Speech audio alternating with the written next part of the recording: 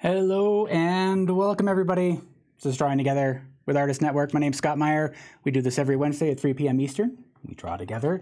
So if you're new to this show, you're going to want to know that this is all about us taking time out of our busy lives to draw. Um, we select a new image each week. We draw with a with a certain amount of intentionality so that we can continue to build our artistic practice. So the idea is that it's all about developing healthy habits and working effectively. So um, with that in mind, uh, I want to show you what the the new drawing is in a bit. But um, if you are going to follow along, you can find the link to the reference image in the description below, and uh, you can find a link to the page on Artist Network where you can post your work when you're done. So let's get to it. Welcome, everybody. Um, I see some comments about the the website on Artist Network, so um, I can certainly address that. Um, let's see. I need to. There we go. Um, okay, there we go. So this is the drawing we're working on. I do want to talk about stuff at Artist Network to hopefully um, uh, alleviate any sort of concerns you might have about sharing your work. Um, we have made some new updates. In general, they're designed to make things smoother, more efficient for everybody, both on the back end of the site and for the customer experience. In the transition to the new site, um, some of the information is still taking some time to move over. Um, and then there was a, a, feature that has now been fixed, which will allow you to share your work. So I was having trouble myself posting my own drawings, but it is now working. So I apologize to all of you who may have had any trouble um, over the week sharing your drawings of the sunflower. So um, this is what we're working on today, drawing of a duck. Uh, it is a, I thought it was a great image, and it reminds me of the the one we did of the snow hare a while ago. Uh, for me, what I wanted to focus on was this sense of light, and and at first it didn't really stand out to me, but you can see this shadow kind of passing over the the body of the duck, and you get these kind of hot spots on the left and the right sides, and that's what I was um, really kind of interested in exploring, uh, and in utilizing kind of the texture, the form of the duck to help explore edges and uh, transitions between values and the quality of light and shadow. So there's a lot that we're going to be able to cover in this. I want to walk through the materials that I'm going to use.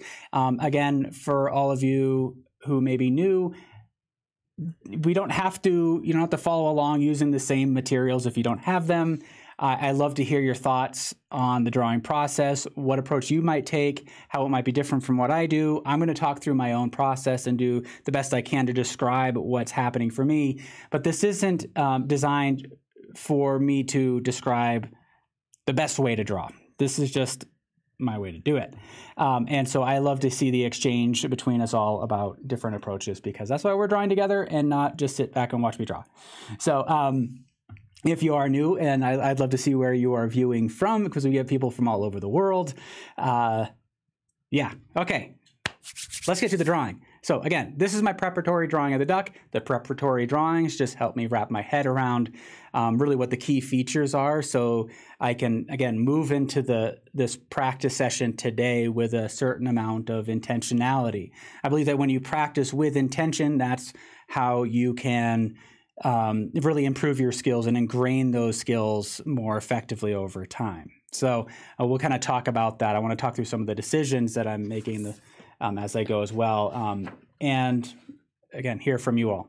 This paper here is the Strathmore toned gray paper, which we've used quite a bit before. I am nearly out. um, so I've got this is the nine by twelve, nine, uh, uh, nine by eleven. I mean, um, is that what it says? Yeah, 9 by 12. Sorry, 9 by 12 sheets of the gray tone paper. I love this stuff.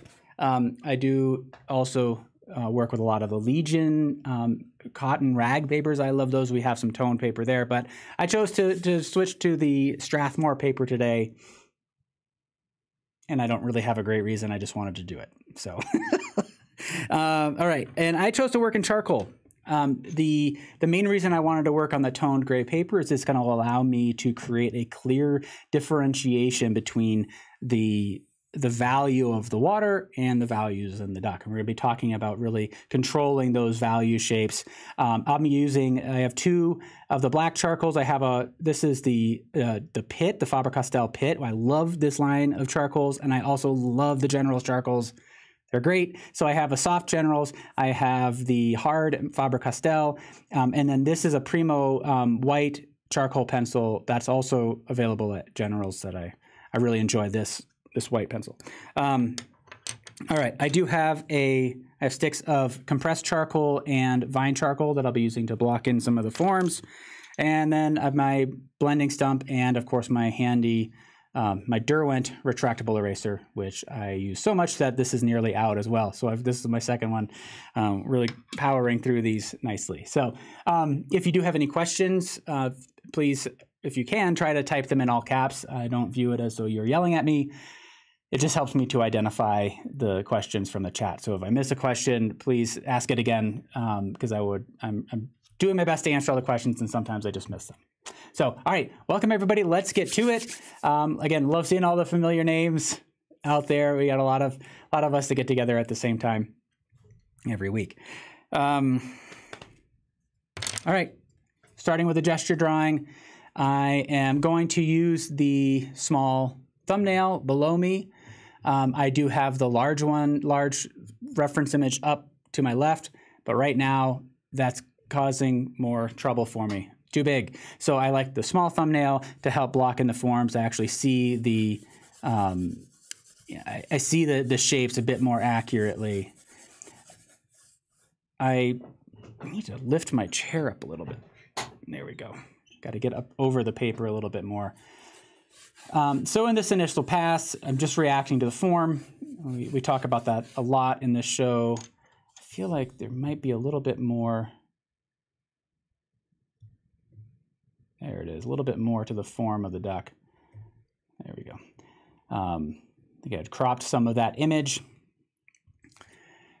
Um, again, this is just kind of reacting to the form. I'm trying not to think. And what do we say? I say so much in this show. My general approach is to allow the drawing to emerge at the same um, rate, the same uh, kind of general flow as my observations evolve. I don't, you know, even though I've done this, the preparatory drawing of this duck, I'm approaching this as though I've never drawn it before, which, um, which means my initial impression of this subject is um, is not very deep. It's a very shallow interpretation of that and I don't want to be approaching my marks with any degree of certainty or specificity because I don't really know what I'm looking at yet. It's going to take me the entire drawing process to really wrap my head around the subject. Um, if you're approaching your drawing as though um, you have to have it all figured out before you execute on the drawing, uh, it could be challenging. Um, that's a lot of pressure, a lot of pressure for me, so I try to avoid that. Uh, it just takes time to figure out what the form looks like. So I'm kind of moving around, thinking both in terms of line and shape. Squinting your eyes helps to reduce the amount of information that floods through your eyes. Ooh, I don't necessarily like the texture under there. I'm going to get a few more sheets of paper underneath. Um, this paper is a little bit thinner.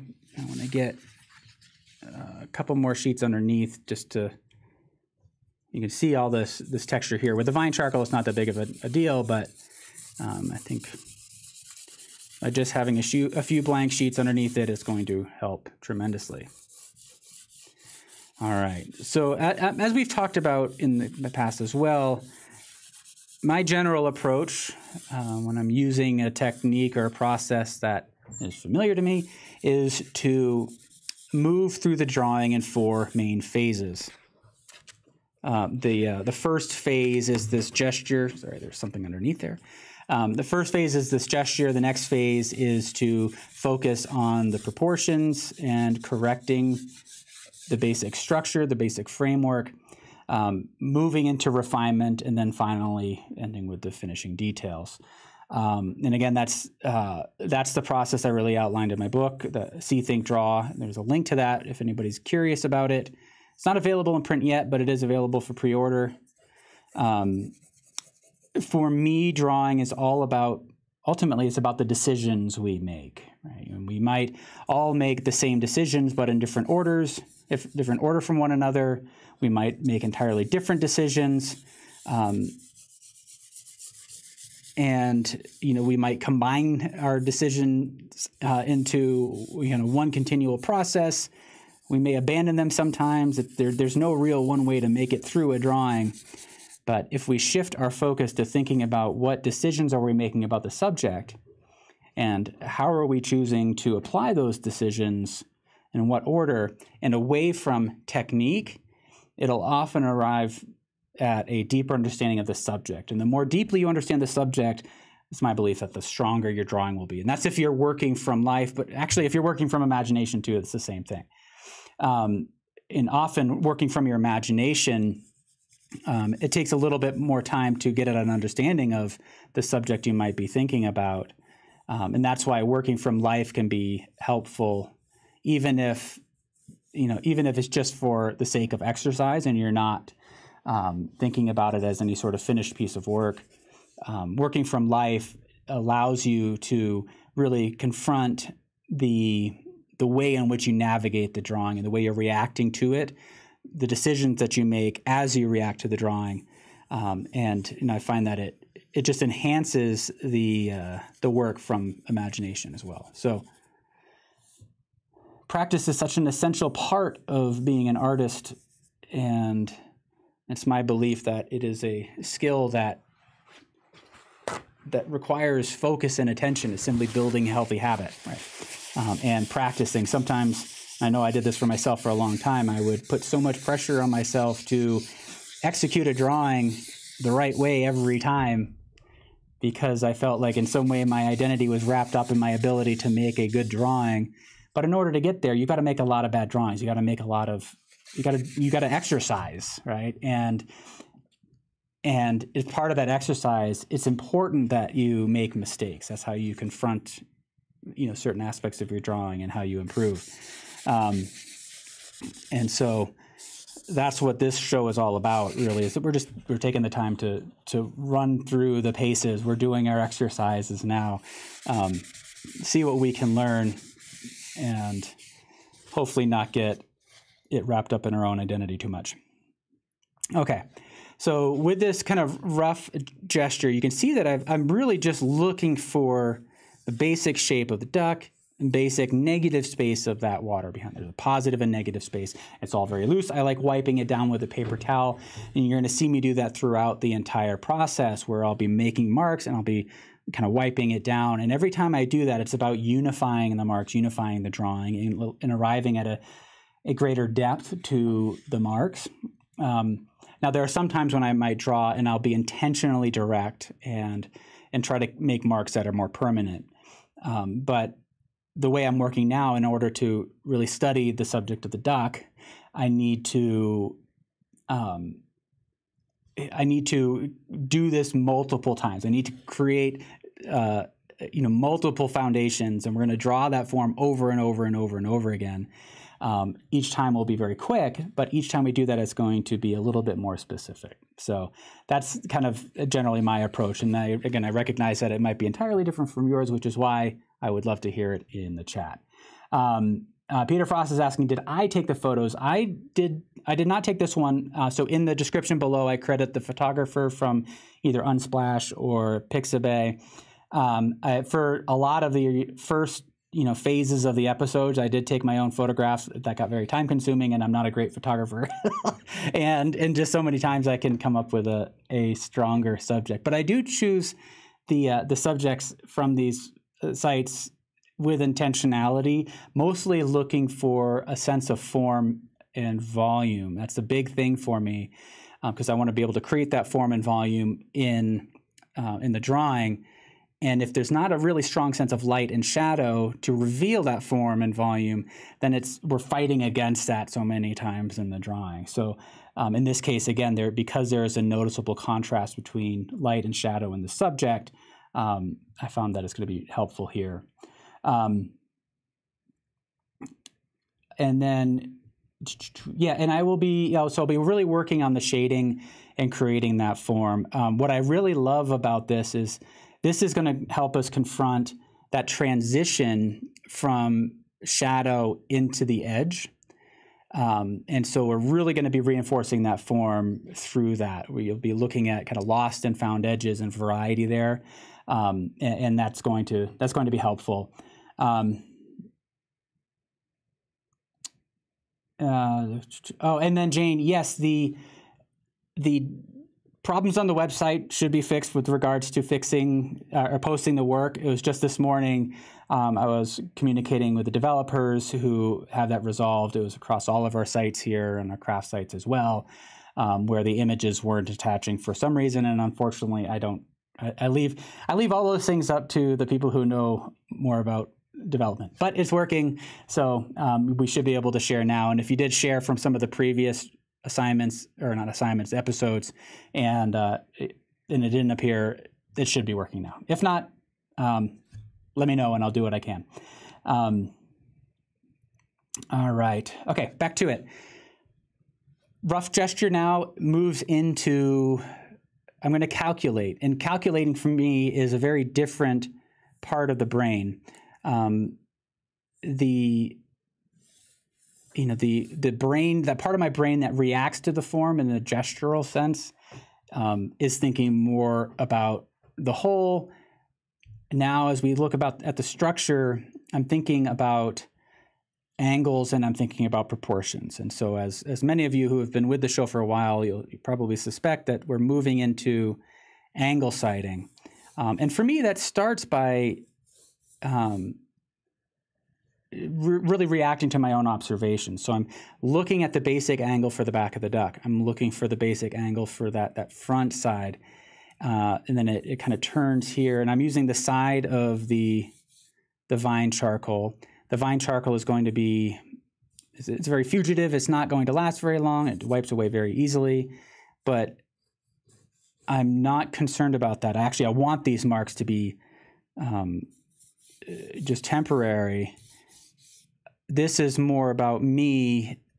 Again, if we move into a certain sense of intentionality, me understanding the proportions with greater depth, and I can recall this, recall these these angles and proportions more easily if I lose them later on in the drawing. So what's happening now is I'm thinking largely about kind of the indirect gaze. So what I mean by that is I'm looking at the subject on, on the screen just below me. I'm seeing what you're seeing. I'm being fixed on that subject, but being aware of my peripheral vision, what's happening on the screen, then adjusting my marks accordingly. And then I will compare that using um, angle sighting.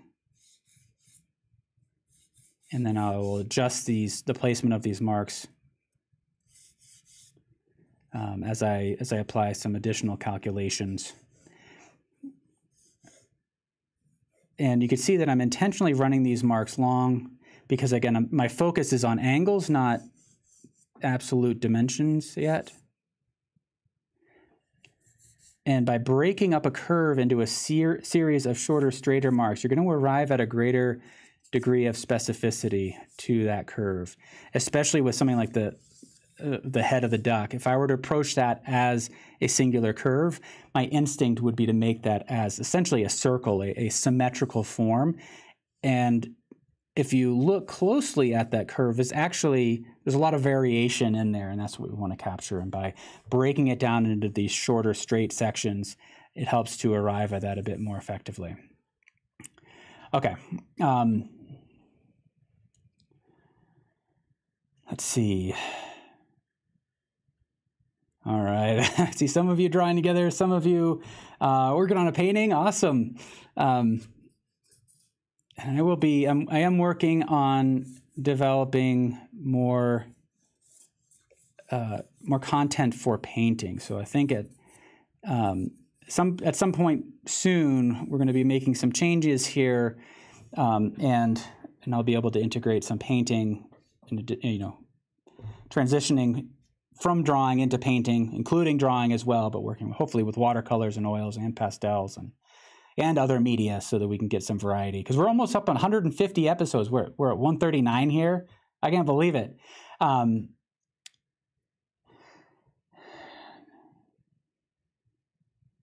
let's see.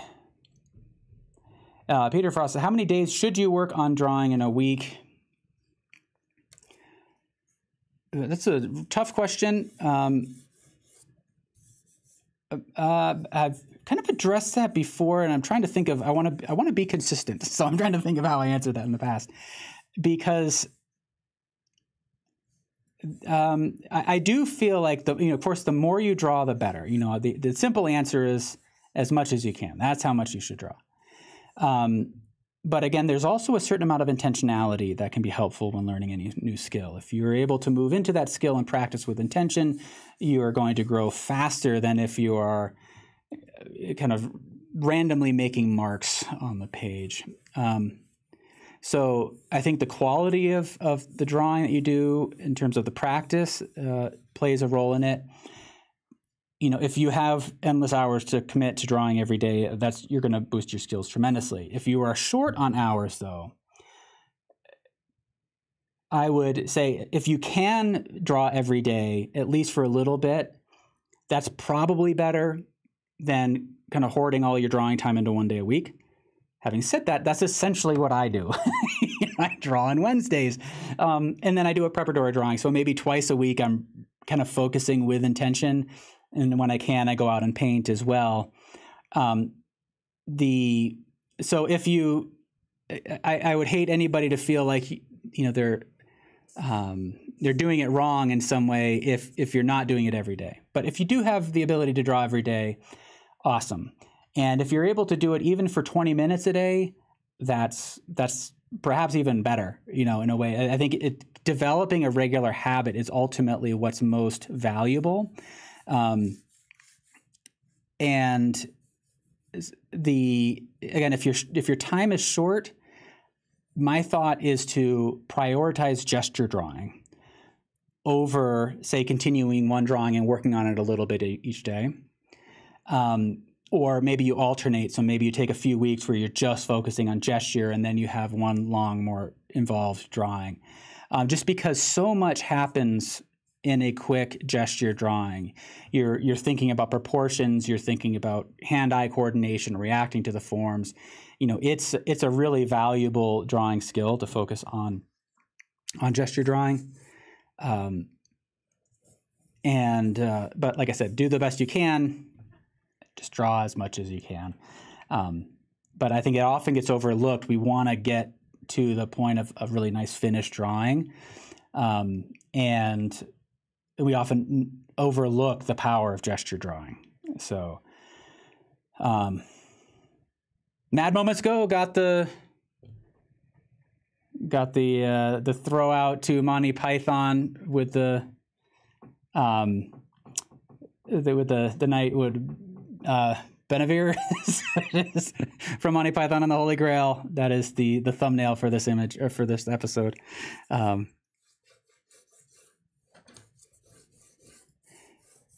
All right. Um, okay, I want to double check some of these proportions. So I'm going to use some angle sighting to do that. And what angle sighting is, if you're new to this whole concept, I'm holding my pencil out in front of the subject in that small thumbnail, closing one eye because that flattens my depth perception. And when I hold my pencil over the reference, it feels like it's directly on top of it. So I'm aligning the, the pencil with the back of the duck, locking my wrist, carrying it so I can see it right on right on top of my drawing and it feels like I got that angle pretty well. I can do that with the neck. And that looks pretty good. I'm kind of getting my, in my own way a little bit here. So I'm working around my drawing. I'm checking this angle here, checking the basic angle of the, the point of contact with the water.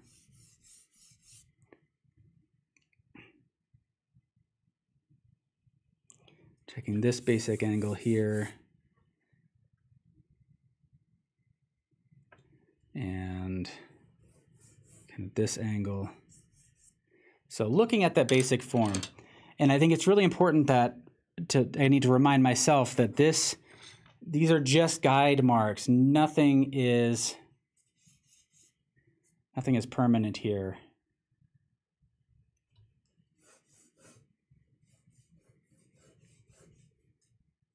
They're just pointing me in the right direction.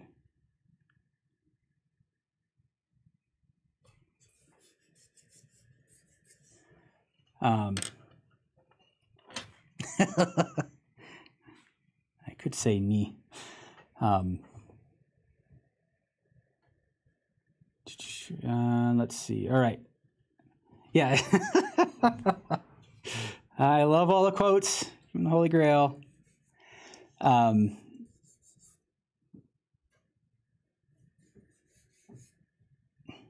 I was thinking about doing a loaf of bread, which we've done before, and then I was going to call it Bring Out Your Bread. Um, let's see, Council of Wolfgang is drawing animals. Really just stick a pencil in your hand and just draw from someone's photo, or would I just be drawing contours and missing fundamentals? Uh, uh well, I think you bring up a good point about working from photos, and of course, I have to work from a photo in this situation. If you can ever draw from life, that's going to be um, it's going to give you much greater benefit um, because of that layer of complexity of translating the three-dimensional form onto a two-dimensional surface. And especially with a living creature that's moving around it's really wonderful brain training. So if you ever get a chance to do wildlife sketches um, i highly recommend it. Um, having said that working from a, a still photo does allow us to explore many issues that are helpful in in improving our drawing. Um, a lot of fundamentals like light, value, shading, texture, composition, and, and proportions. Um, and we've talked about it before. Having an anatomical understanding of of a whatever subject you have can be very helpful. It can have lead to a deeper um, expression of the subject. But at the same time, if this is a new form, you can under, you can come to understand the anatomy through the drawing process. If you're looking at at the proportions, at the edges, at the value relationships, um, I think it's just a great way to understand the subject with greater depth. Um, so, um, the in this case, I'm actually I'm kind of mapping out some of the basic contours but what you're going to see me do right now is kind of wipe that down. So I have some of those available to me now. A lot of what I just did was for my own mental benefit, not for visualizing what's happening on the page. It's not the framework that I'm going to be drawing from. Um, now I want to be mindful of the relationship between the width and the height.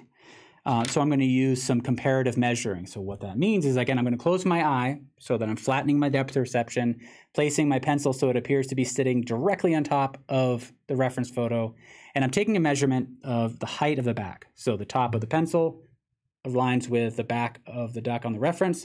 I slide my finger down until it aligns with the bottom edge of the duck. That gives me a measurement. And then I can, I can turn it to the side and I can see how many measurements does it take to equal the width? And what I'm seeing is that if this represents the back, I'm going to indicate that, this represents the water line, and I take that measurement, and this represents that back tail, I should be able to get one, two, and the right side here in the water line is just past that. So the the height equals essentially two and a little bit more to the width. Um, I also want to compare the height to, say, the height of the neck. So let me see that.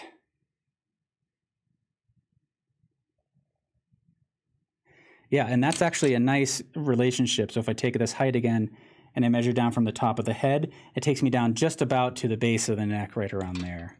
So that means that my initial um, my initial kind of placement, you know, rough as it is, gets me in the ballpark. And in the ballpark is great for now. We're going to gradually refine those proportions as anything kind of stands out.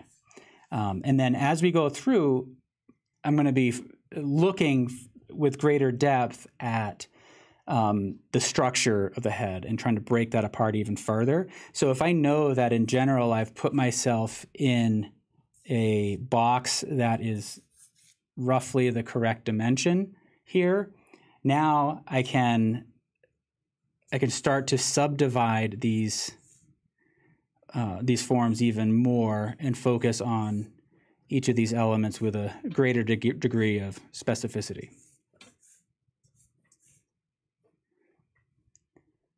All right. It's going to tap this out. And then this could be a good, actually, I'm going to use my kneaded eraser to do this. I've kind of stopped using my kneaded eraser so much because it's kind of breaking down. I've been using this kneaded eraser for two years now. Um, we started this show almost exactly two years ago, and I've been using the same kneaded eraser the whole time. Um, I have I had a I had a second one um, that I was using, and but it's it's finally starting to break down. It shows you how many drawings you can get. I've gotten at least you know a couple hundred drawings now with this with this one. Um,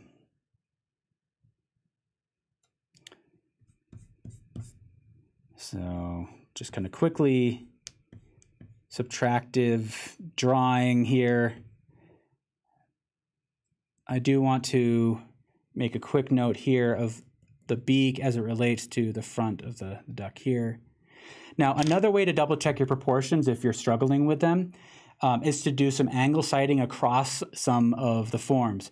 So one thing in, in particular that would help is to try to find this angle. If you've indicated either the, the tail feather or the wing feather that sticks out the back and the top of the head, that creates a unique angle. And if I compare that to what I have here, it looks like it lines up well. Uh, I can drop a plumb line down from the end of the beak, see how it relates to the, the front breast here, and the tip of the beak should extend just a little bit out, so I might be able to bring that in a little bit.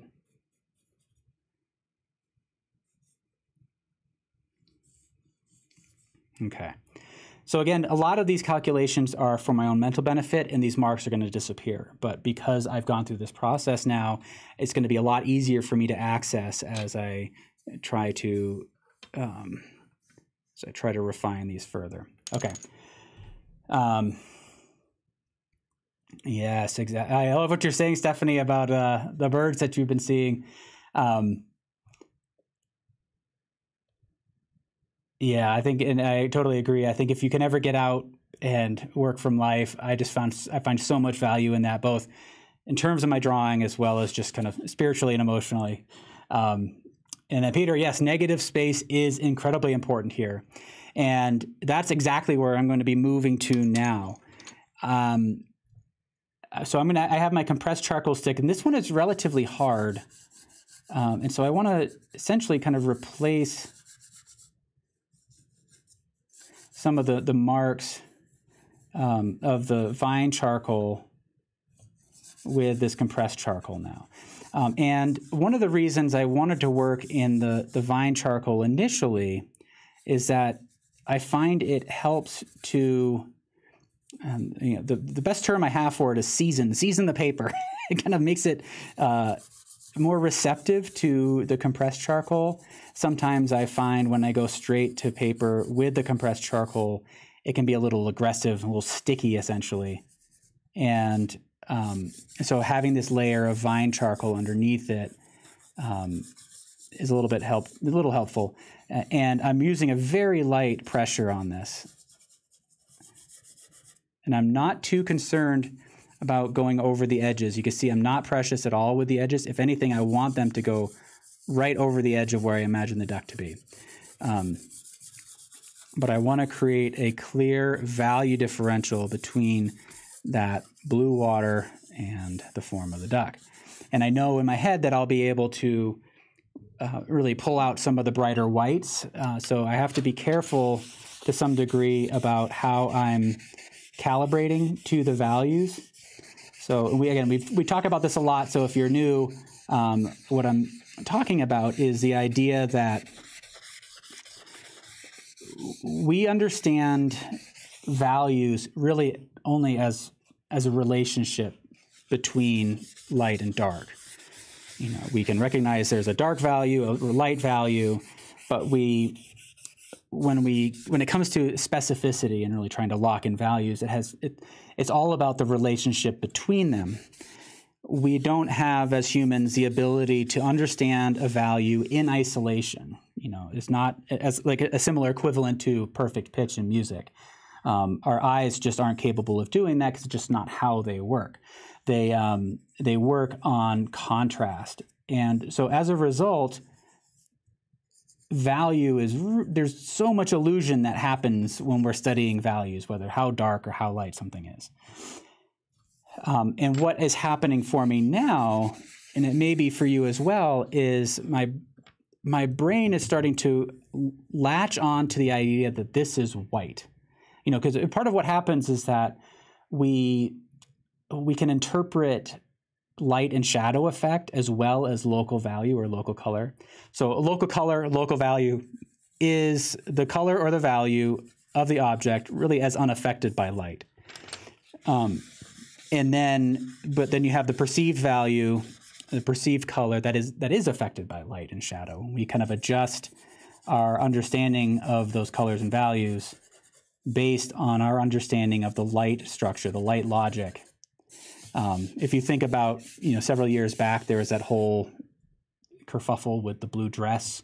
Some people seeing it as gold and blue and black and white, or I can't remember how it was organized, but that had a lot of that had to do with, um, you know, some of us, some of our brains and uh, prioritizing the local color, and local value, and others um, applying a sense of light logic to it. And when we do that, it, it affects our perception of that value. Um, so part of that part of that whole process is a sense of calibration, where we look at the darkest area, we look at the lightest area, and we have a um, a natural tendency to say, all right, now this is darkest, so that's black. This is lightest, so that's white. Um, and then as we go darker on the black, we realize that this is actually quite light in terms of its gray. And as we go lighter in this area, it provides enough contrast for us to see that this is actually a gray, closer to a middle gray than um, than it is closer to white. So uh, I bring that up because it can be dangerous when you're trying to create a sense of realism to identify with specific values too early. So, all right, now what do I want to do? I want to keep working on um,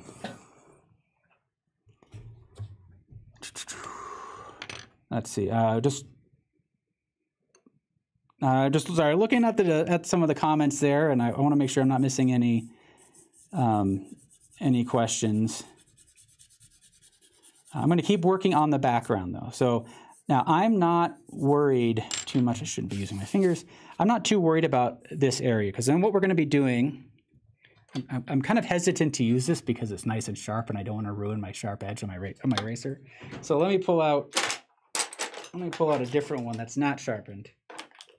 This Factis eraser. These are these are really good. Um, but you can see that it erases pretty well. All right, so I can get that sharp edge. I'm not worried about that. So um, the reason I'm focusing on the background is I want to ensure that there is a clear division between the angle of the plane of the water and then the angle of the duck. There's kind of a perpendicular quality. We're looking at down at an angle, so there's from our point of view, there's kind of a slant to the water and the duck kind of slanting upward like this. Now, if I am I if I'm working on the background, working in this negative space, and I'm not careful to make sure that they align, it can really disrupt things in the viewer's mind. so um, it it throws things off where we start to see this as being different from this, and so much of that has to do with what's called the law of good continuation. It's a Gestalt principle in design. The the idea that you know if I were to say I draw a line here, and then it picks up and it lo- appears to connect through and connect through here, even though these are literally three different marks, they appear to be belong together. If I and I didn't do a very good job drawing those, but if I go like this, if I have this line here, and then I drop a line down in here, and then this is going like this, now I have three spaces that feel very different from one another. This is a, kind of an exaggerated expression of that. Um, and so by kind of knowing roughly where the duck is going to be, I can focus largely on the structure of the water. And I'm not going to spend too much time really rendering it, um, but I do want to kind of pay attention to the rough, um, kind of the, the rough observations I'm making about the, about the surface. W what I can see is just based on the angle, um, you know, we actually have kind of a, a, bit of a curve that's happening here because of how close the photographer was to the duck. So we're looking more down at this water than we are up here where we start to look more across it. So as a result, here they these marks tend to kind of squish together. We see tighter marks that then open up as we come down here a bit more. And so as I react very gesturally to these forms, of really all I'm doing is is kind of holding that observation in my mind I'm, I'm, I do not want to get too um, wrapped up in the specifics of it, of, of really drawing the water. I want to really just arrive at a, a, a clear gestural understanding of that water. Oop, my shadow was blocking that form. I see these reflections in here, which are kind of interesting. I'll have to address those. Oh, I got to be careful of the direction of my marks. Um, and then now I'm also observing that you know the surface of the water is being affected by the by the duck itself. These we get these kind of radiating rings of um, little waves, little disruptions in the surface kind of working around the form of the duck. And so if we were to imagine, say, a, an oval extending behind the duck, it gets obscured and it starts to come out right about here. And then we see other other rings that are kind of obsur- uh, obscured by the back of the duck. And then that, you, again, as subtle as it is, will help to visually imply that that kind of perpendicular orientation of the duck to the water. Let me um, get rid of this.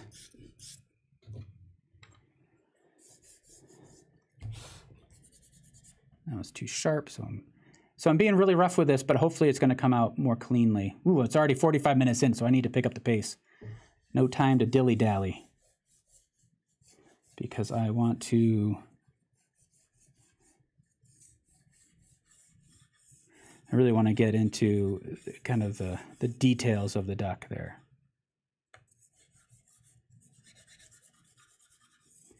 I'm going to um, run some vertical marks. Actually, what I'm going to do is now as I'm wiping this down, being a little bit more um, precise with it, but not super precise.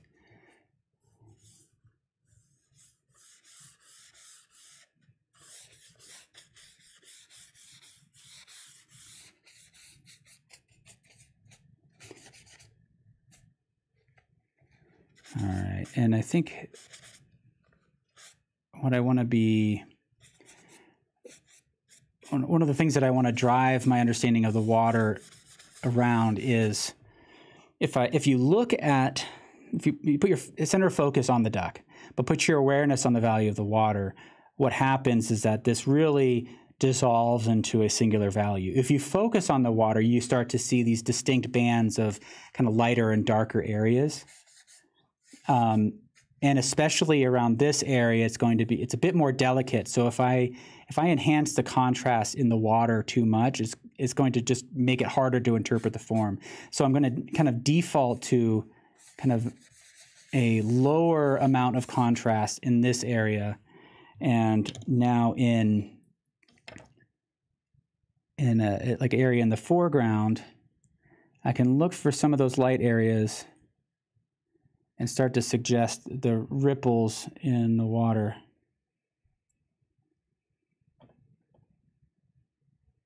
And it's a very light pressure at first because I want to see what uh, what lifts kind of naturally with that.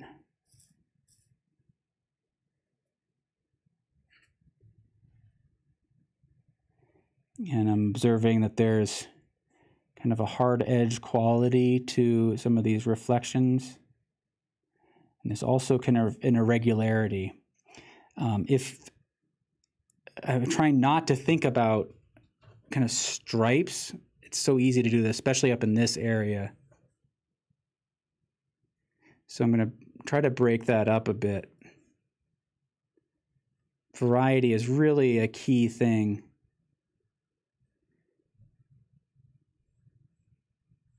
And you can see I'm, I'm, picking up a lot of the charcoal on this eraser and that's actually helpful because it's just smudging a little bit first and then if I need to lift more I can start to bear down. But it allows me to kind of visualize some of these forms a little bit before I uh, before I really execute on them. And there's kind of a bigger wave back here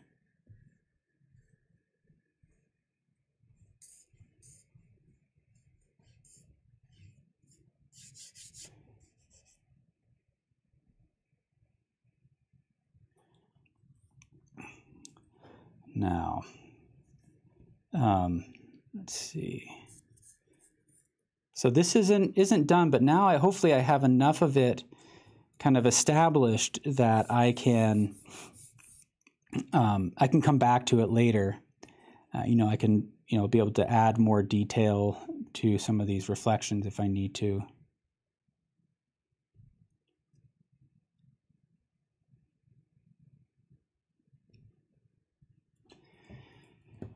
And now I can work on the form of the duck. I mean, I'm actually going to kind of erase this down a little bit.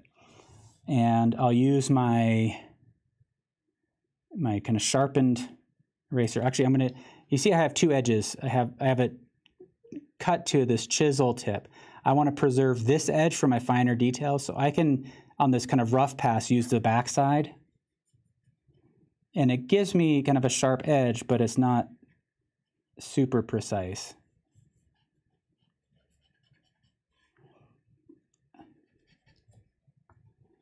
let me go bigger eraser here. So I'm using the smaller eraser for the finer edges,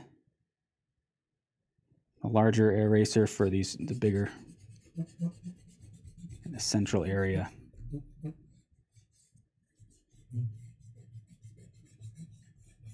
I realize now I took a lot more time on that preparatory drawing than I than I'm going to have here. Um, oh, I do want to uh, see if there's any questions. Um, uh, Rhiannon P, do you always use mid values? Um, no, not necessarily. Um, I think you're, you're raising a good um, you know, good question. It, it kind of about the key of the drawing.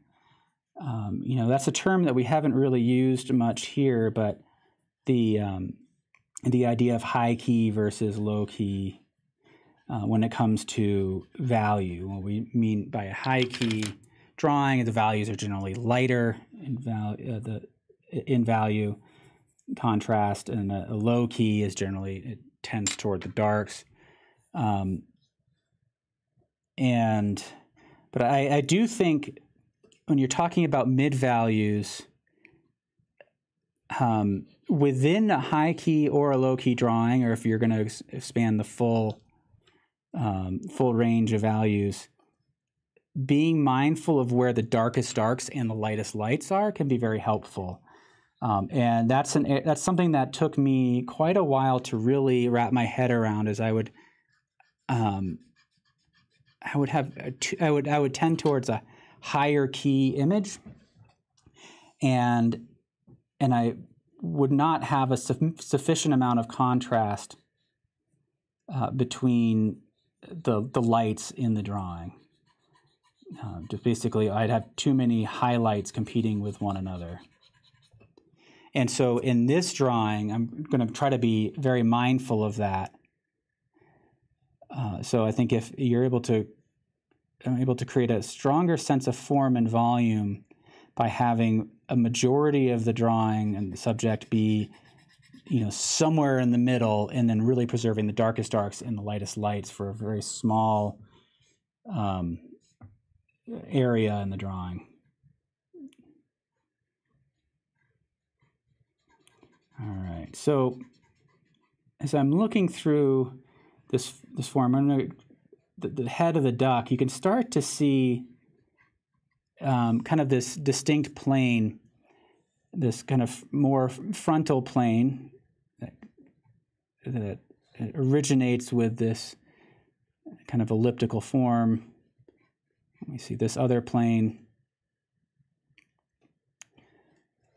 Um, and what can be helpful is to try to envisual, uh, envision, visualize. I almost created a whole new word. visualize uh, that that plane that kind of wraps up and around and, and becomes obscured around the back of the head right right about this point.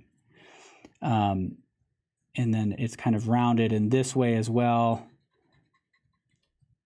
And I'm going to be describing that more later on, but I'm just kind of making these observations, holding it in a mental bank so when I come back to creating highlights, it will, um, will be helpful.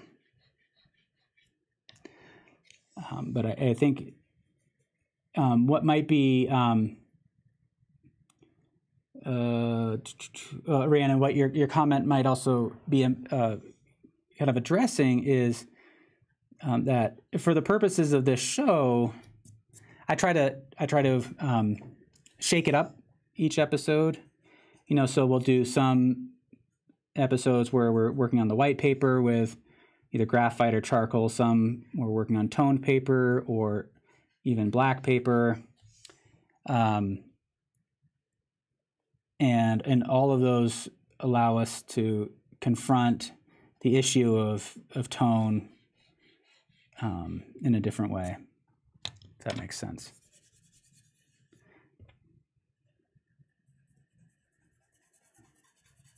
So I just gonna kind of darken this area a little bit more. Because I had that light area that, so I'm gonna bringing in that background right in on top of the beak so that I can I have kind of a clean um, edge. Ooh, that, that didn't work. that was not a very controlled mark. That's all right. One of the things I love about drawing, we've talked about this before in the show, is is is when you can you can kind of sense the fight in the drawing. There's part of me every time I draw that tries to identify with those early experiences in drawing when I'm just trying to figure out how the materials work and how the whole process works. That sense of discovery.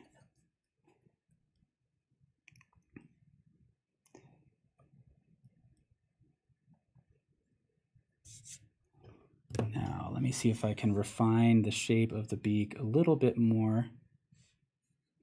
So again, that with that beak, just like other curves in the drawing, trying to break it down into a sequence of shorter, straighter marks.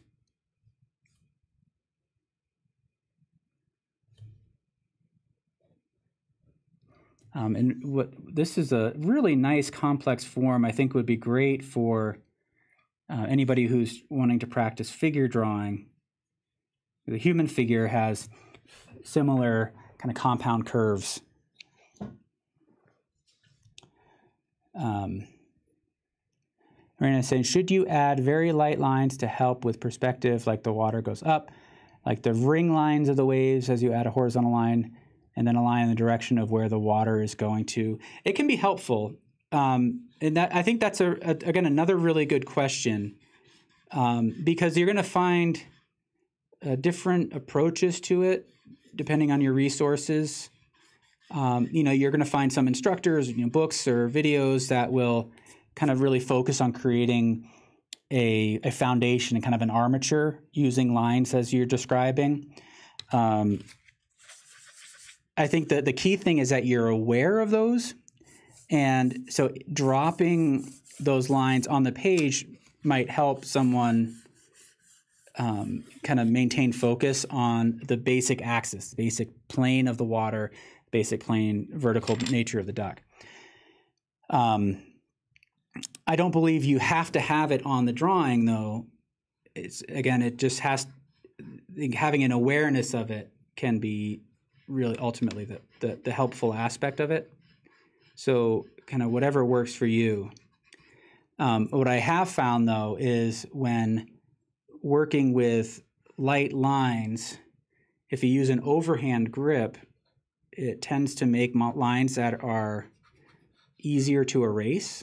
And so if it's not a line that you want to keep in your drawing, then use an overhand grip. So holding your holding your pencil like this, where the side of the pencil kind of scrapes across the page, rather than like this, where the tip of the pencil um, kind of embosses on the surface. So hopefully that makes sense. There we go. So what I also like about this subject and this, what I wanted to focus on here is the aspect, the, the process of subtractive drawing. Uh, so here using the eraser to capture form.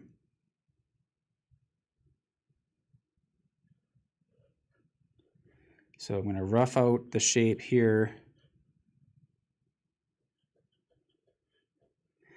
Um, and as I always say, it can be helpful to um, be decisive about um, your threshold for accuracy. So, what I mean by that is um, before you before you get too far, just at least consider how accurate your drawing needs to be. Um, and if if it needs to be 100% accurate, if it just needs to be in the ballpark, um, if it needs to, if you're if you're good with like 60%, 70% accuracy, um, again, having a certain amount of intentionality behind that can be really helpful. Um, I don't know. I think in general, I'm probably around 75% accuracy is where I feel comfortable you know, if I can hit a higher degree of accuracy, that's better, but I'm not going to worry about it too much. All right, so I'm going to make some kind of adjustments to the negative space here to refine the angle of this tail feather. And, you know, at this point, I think I'm just going to call it generally good enough because I want to move on to some of the, the, um, the finer aspects of the drawing. But if you're not really satisfied with the overall um, shape of your, your duck, keep working back and forth between the positive and negative space. Um, let's see. Um, now I think what um,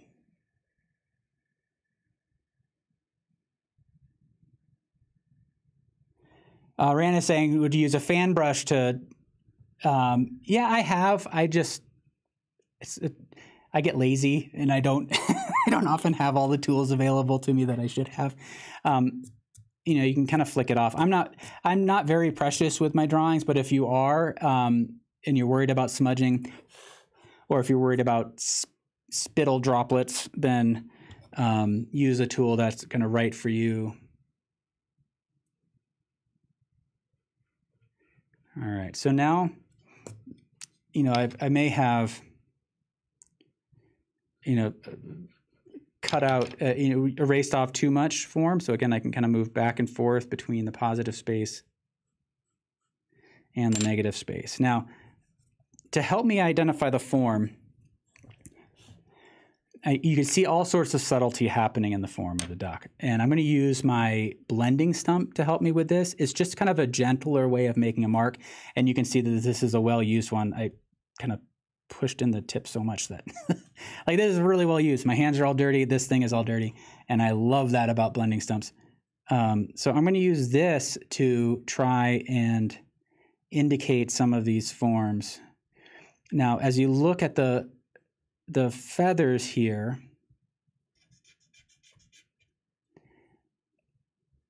uh, I'm not thinking again about absolute values. I'm thinking about just general form, and I'm trying to really observe this kind of shape to the form. If you were to imagine a kind of a center line across here, um, you know, what shape would that take? And I'm going to adjust. I'm going to adjust this as I'm looking at it. See if that's any better. Um, one of the things that I was starting to observe is that in general, you can see this this continuation here from the back of the duck down into into this uh, the the chest area. The um, so so now I'm trying to visualize kind of this plane here across the top. We kind of turn. There's kind of an angled area. It let's see, it's kind of rounded here. It's kind of vertical right in here. It's kind of rounded there, but generally a vertical plane in here. And then almost kind of a triangular shape here in the front. And then we really get distinct kind of cylindrical marks here. So um, in terms of kind of uh, visualizing underlying shapes, you can see I arrived at that point fairly late in the drawing process, whereas you know some people might you might want to have that earlier on. You might want to establish that armature. Does oh, this doesn't quite fit? There we go. Um, I'm gonna actually work down here, pick up some more charcoal.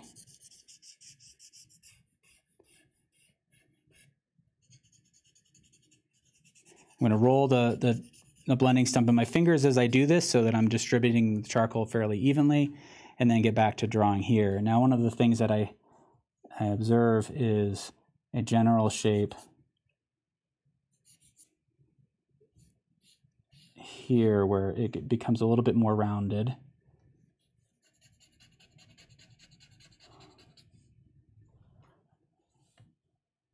and then the when the the eye comes in, it's it's almost like there's a shift to a vertical plane here, wrapping up around that side.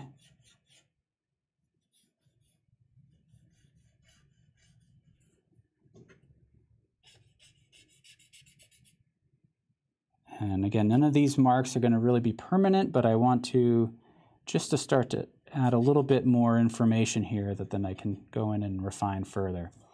Um, now, one of the things I observe in the, the beak here is that it really becomes um, planar here. You can see a more distinct kind of flat plane here. It changes direction. And as we come down towards the beak, it all kind of merges at this flatter transition area.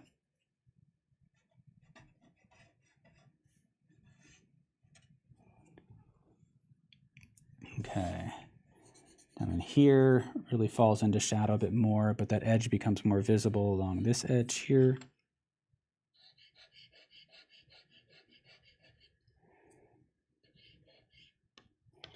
All right. Now I can go back in and add a little bit more specificity to some of these marks.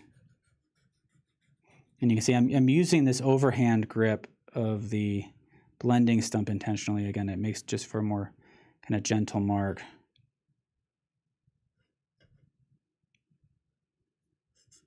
And it's a way for me to bring a little bit more focus to some of these subtle areas here. Um, and there may be too much contrast. I may have to lift off some of these because I, I, I uh, again, I don't have the white um, added yet to give me that context in terms of values. Um, one of the things now that like this pass here, I want to start thinking about just the general flow of these really fine feathers here. Um, and I can indicate that with the blending stump. You know, so we notice here on the neck, for example, there's kind of a downward diagonal um, kind of expression there. Uh, it seems to change direction here on that back.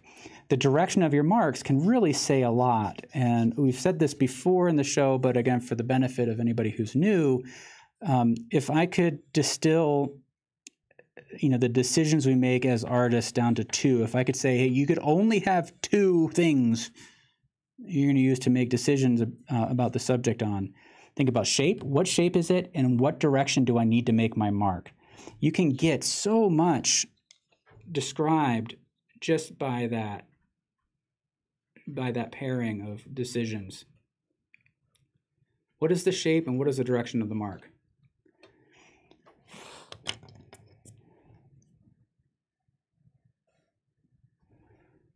All right. Jerry's welcome. Uh, Peter Frost, what is my favorite drawing tool? You know, I think when it comes down to it, just, you know, if I could choose one, if I could only have one thing to draw with, it'd be just a regular yellow number two pencil.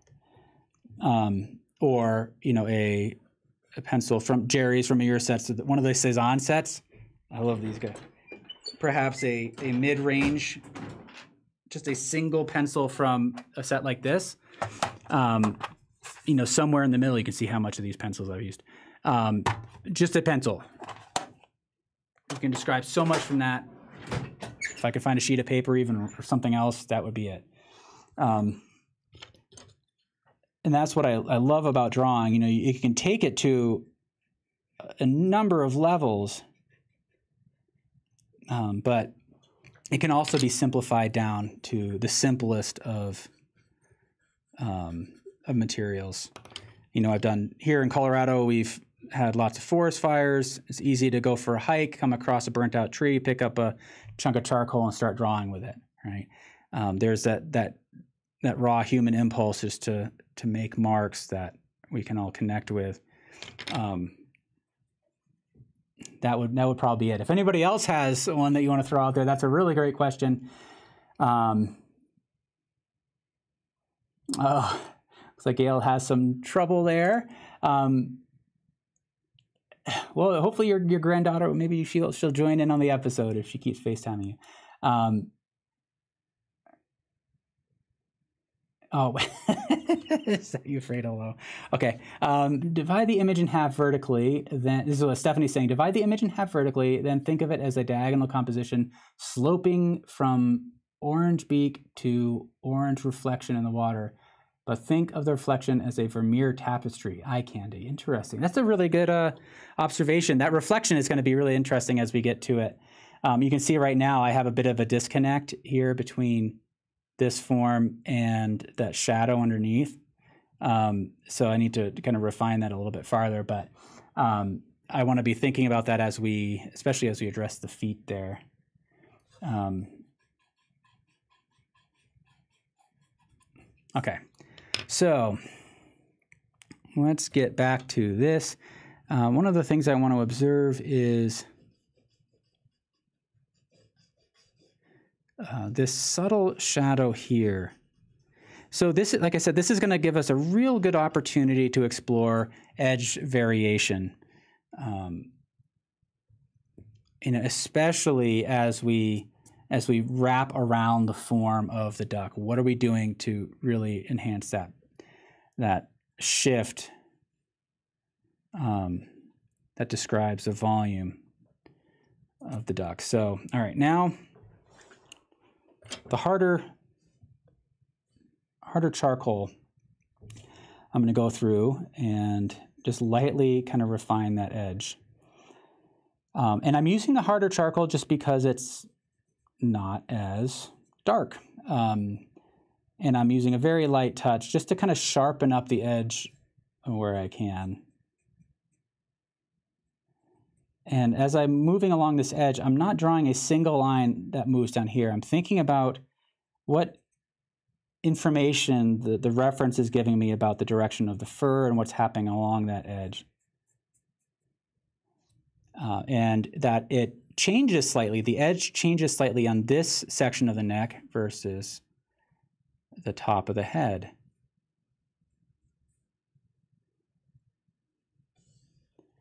Uh, and I will go back in. I think I'm going to have to do some more work on the water area.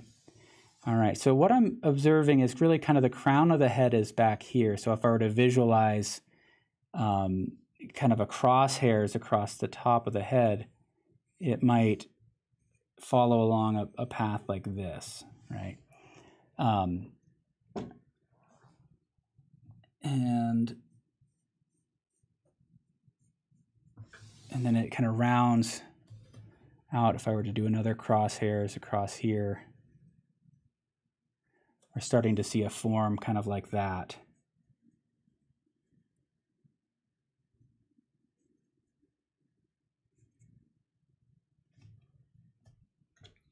And now I can look here and I can see a little bit of that white the feather. There's a, a kind of a bump here. There's a form change right along there.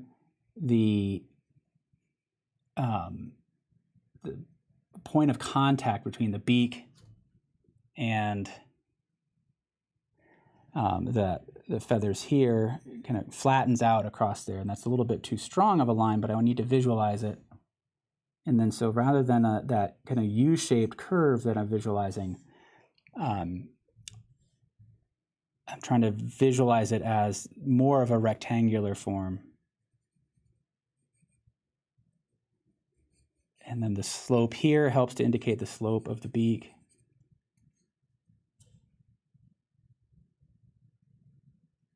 So now switching to the negative space of the beak, essentially.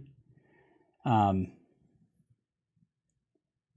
uh, Stephanie, I, I agree with your um, your comments about the the head and the beak really being the center of attention. So I think I'm going to refine that to a greater degree than other areas. But I, I am I'm curious too what, what you think and what everybody else thinks about uh, when I get into the value shifting, using that contrast to kind of play with that. So we'll have the refined areas pulling attention, but we'll also have value contrast. So um, if I increase the value here, like we're seeing in the reference photo, that's going to pull away from the duck. So then if I increase the value contrast here, it'll bring us back to that. So I'll be balancing those two.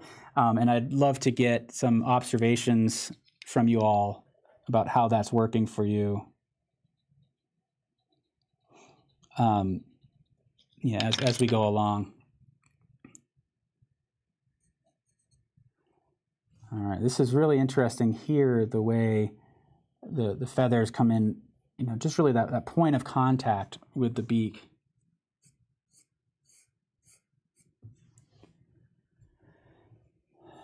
Uh, really dark in here, that I can lean in on it a little bit more. And then I'm just going to be really light with the pressure. Actually, I think this is too kind of blotchy in here for me right now. So what do we want to do? Let me finish with the beak first. So what I'm seeing now, and as we refine the beak further, are these compound curves. Um, we're seeing it change shape here where it enters the skull, um, and then it has a distinct curve that comes down the length of it that seems to be connected more with like the central ridge. And then it changes just slightly right around this point where it flattens out to form the bill a little bit more. So it's all very subtle, but if you can observe essentially three main angles to this backside of the beak, it'll create a shape that is a bit more specific than what I had earlier. And now the same is true here. We have this essentially kind of a lip to the beak that kind of comes out and it looks like it almost wraps underneath um, that form.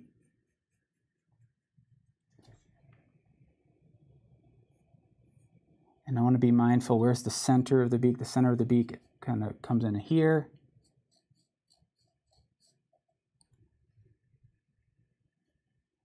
It kind of hooks down.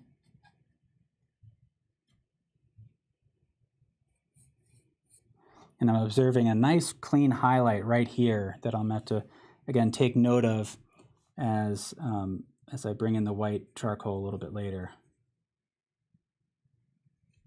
I'll bring out the blending stump, smooth this out a little bit.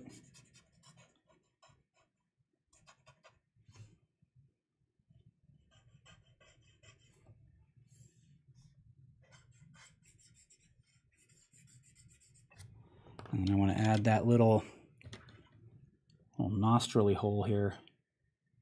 So I come down to about here, just eyeballing it, but you might want to measure a little bit more, a little bit sharper on that back end. Just a light touch to refine that form.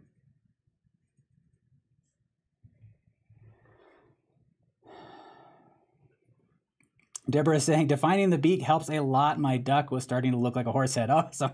Um, and Dita saying the la- the back is too long for you, huh? Yeah, I, and I may have to make some adjustments to my own as well. And once as I set the anchor of um, the the head. All right. So now I want to place the eye, kind of visualizing it relative to some of these key points here. Now, the, the thing about the eye that I really want to pay attention to is what holds it into the form of the head are, again, just like in the beak, all of these subtle changes to the form. It's not a circle. The, the, the eye is a sphere, but it's also interacting with the structure of the skull and the form of the fur. So it's kind of more rounded on this backside. We're seeing more of its volumetric form, but it's got kind of an, it's almost pinched here in the middle. It's rounded, but it's got more of a distinct angle, kind of flattens out here. And then it almost flattens out at the top as well. Um, and that's with the the um, the harder charcoal. And now let's see.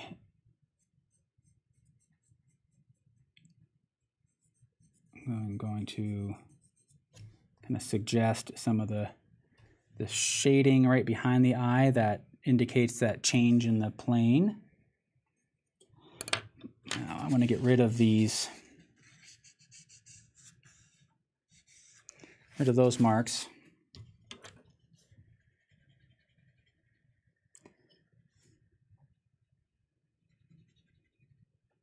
So when I'm using the eraser, I'm trying to describe something about the form, not just cleaning it up, but what can I describe about the form? In this case, I can describe the direction of the feathers, the way they kind of wrap up and tuck behind the head right at about that point.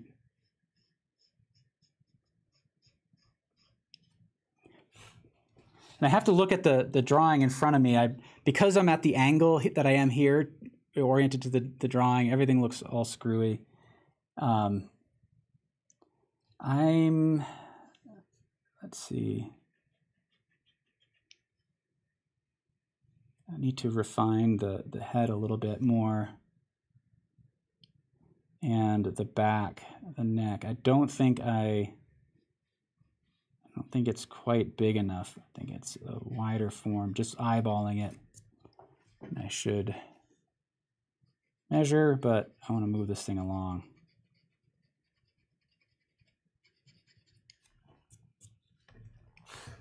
So just pushing that back out, making it a little bit wider back there. Um,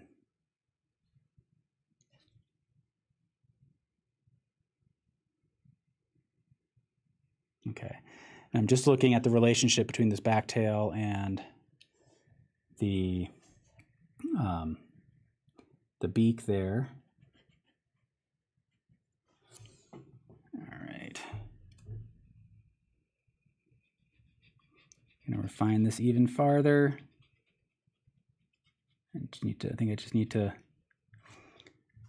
That it just wasn't wide enough there.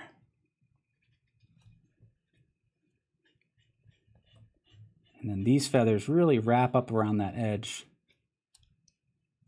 These guys kind of stick out into that water form.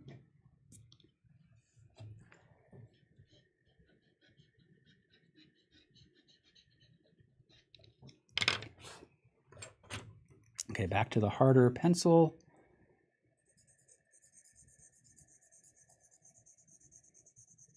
Trying to be more specific with the shading in here. And I'm going to actually mix some of this with the white to bring the values up a little bit later as well. These, um, I think I almost need to bring in the white pencil sooner than later and really work the two together.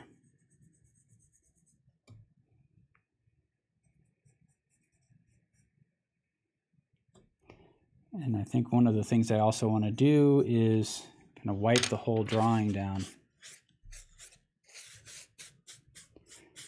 Soften the edges a little bit. And then I can come back in with this and create more value contrast again, redefine it. So don't be afraid to, um, yeah, kind of just wipe it all down and build it back up again. Um,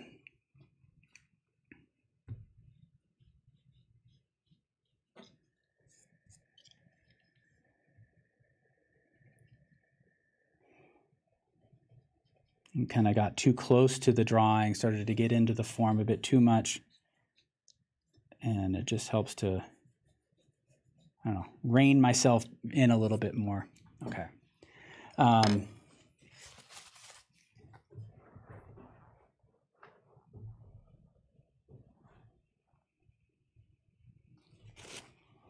let's see.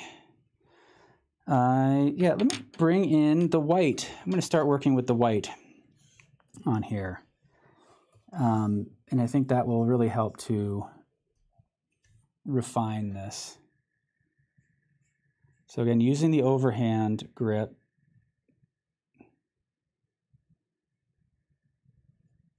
uh, I'm trying to think about essentially the two planes. There's a direction of the feathers and then running across the cross contour of that plane uh, with a broad stroke.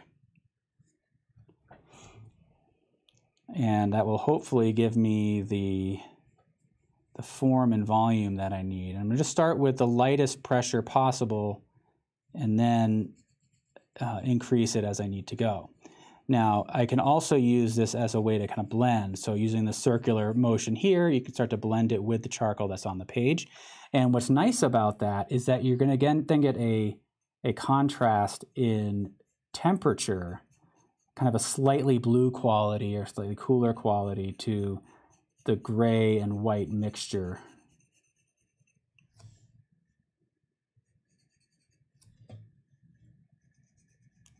And we see a change in plane here. Actually, I want to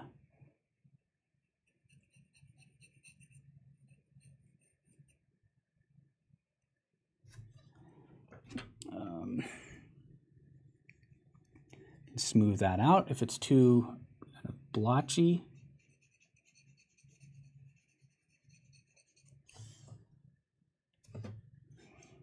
And now I want to really want to observe the structure of the head. So generally you see kind of lighter areas at the changing of the planes. You know, whether it's at a, in a convex kind of point in a curve or a concave.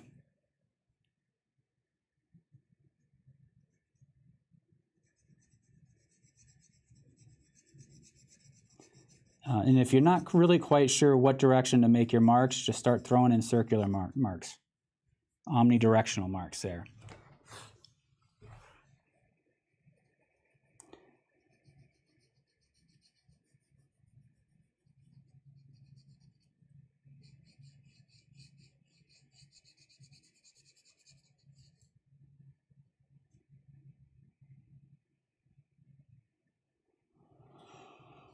So I'm just thinking a little bit more, a little bit harder now than I was earlier.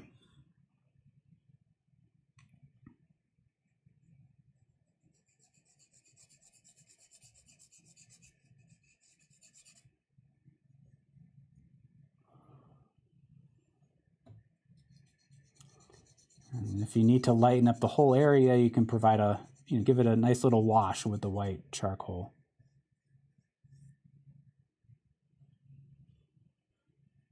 I do like there's a little bit of bounce light on the back of the head that I can enhance with kind of a lighter edge.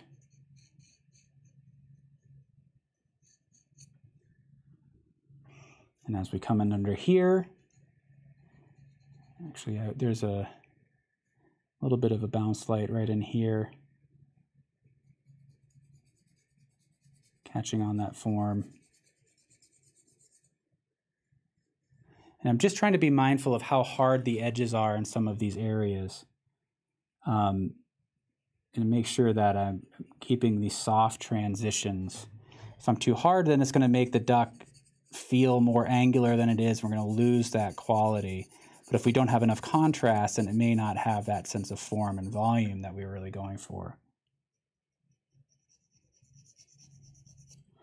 Before I get too much farther along, I'll um, add a little bit more structure to the beak, bring out some of that contrast. We talked about that really bright highlight right in there. Sometimes what you can do if you need a really bright highlight, it's kind of just a little bit of water um, there with the charcoal pencil.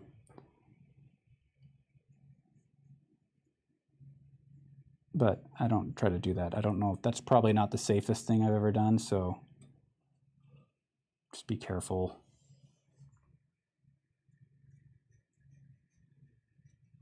And then with this white charcoal too, you can also use it, if you're using it gently, to sharpen up an edge. Um, so you may not be affecting the value a whole lot, you're just kind of sharpening that edge.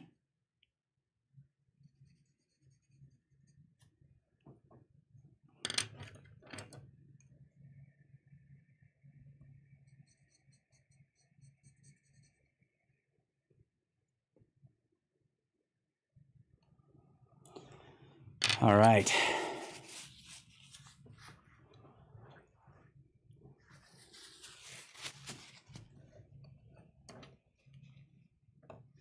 Uh, Rihanna is asking a question if I'm going to use the blending tool on the white. I, I'm actually I'm going to be really careful because this is loaded up with with uh, dark charcoal, and I usually have one that I use for white. Is that it? Is this it? Here it is. Good question. So uh, um, I have a separate one that I'll use for some of the white blending tool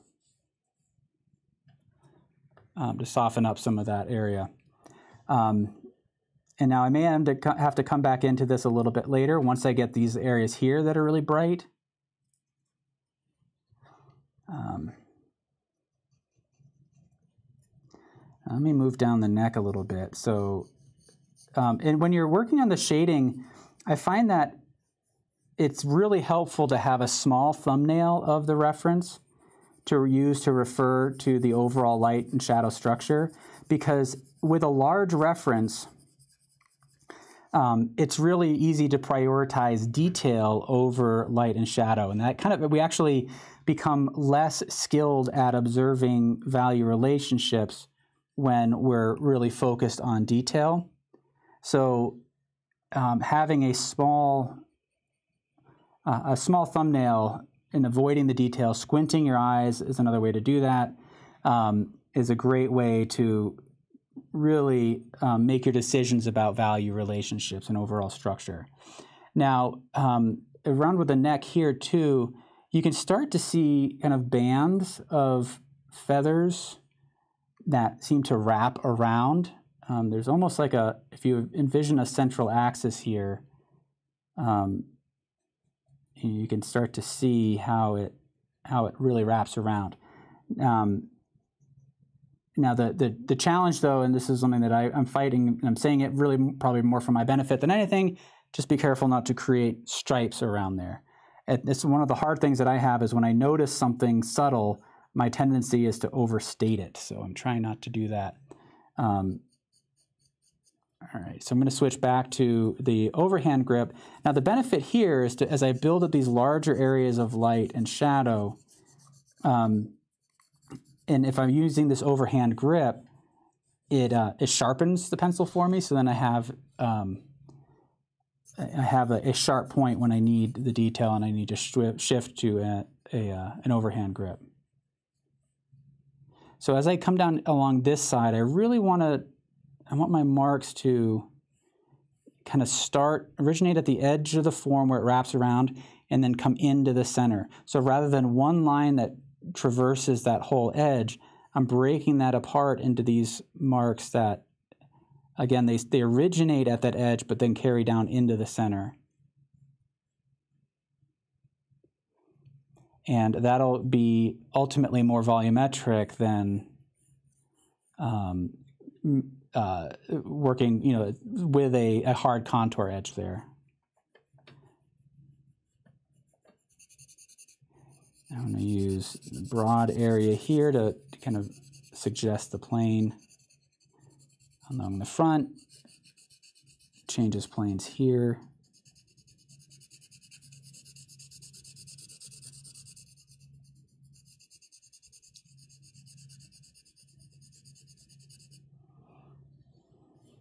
And then we can see at the transition from the kind of the cylinder of the neck into the body, there's that that change in plane and the light's really catching in there.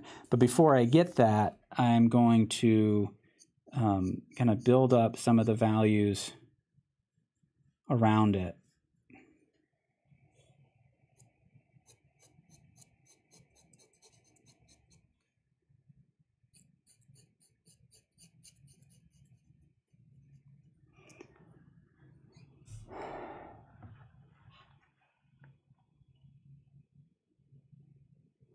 Uh, yeah, Jane has some good observations, and I think Stephanie, you've had some good ones as well about the overall form. Um, and those are all good things for me to have in mind as I get to finishing some of those areas. So thank you for that. Uh, calling out kind of the overall proportions and the forms and some of the rest of the duck, which as long as I'm in the ballpark now, I'm be in good shape. But I still do question this overall form. I need to, might need to adjust that shape along the back.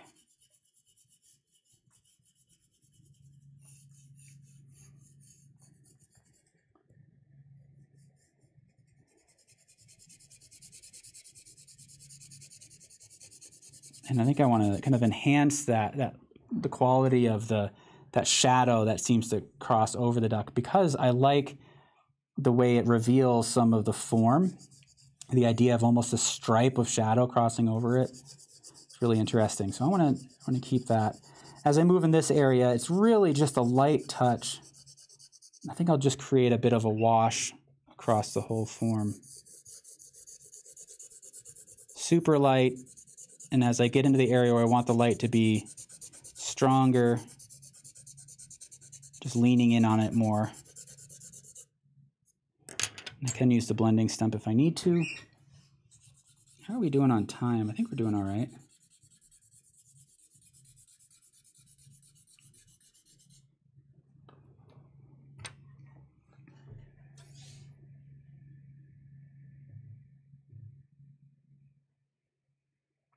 Ariana is saying, what is the paper? It is uh, the Strathmore gray toned paper. It comes in the, it's a 9 by 12 pad that um, uh, they've just ripped the page out of.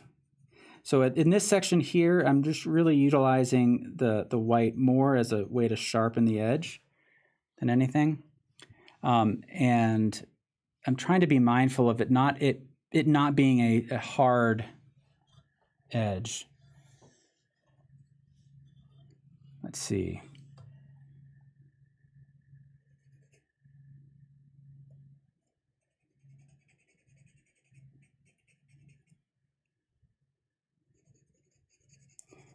So just taking multiple passes with the white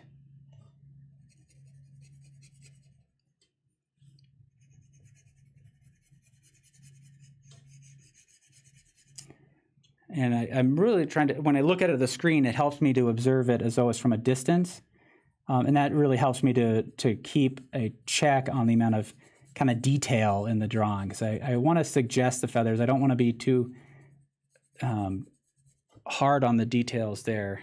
So by lightening here, it helps to increase the the sense of form and volume. Uh, there's a um, kind of an angular quality too into the shadow as well that so just using the white again as a way to blend so again, this one of the reasons I selected this is because of its subtlety and the, the, the way we can practice with intentionality to control the edges of our gradations.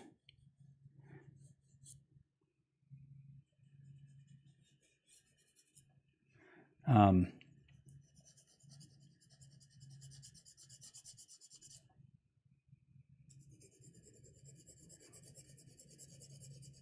timer. We're doing about an hour and a half. We should be able to finish on time. We generally generally try to do about two hours for this show here. Um, and I'm, i think I'll have to, I may come back to this area a little bit. One of the challenges I'm facing right now is I really want to move the paper, but I can't because it's taped down.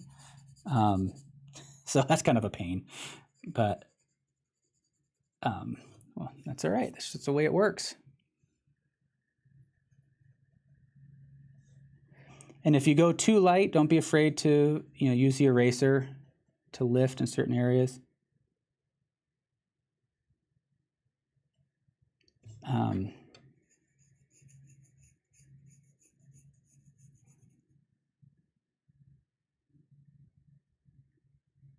and uh, let me see. Uh, this this shadow area needs to be refined. Uh, and what I what I need to do is um, just kind of break up that, that shape a little bit. There's this kind of a ledge underneath here. There's a shadow that cuts in underneath here.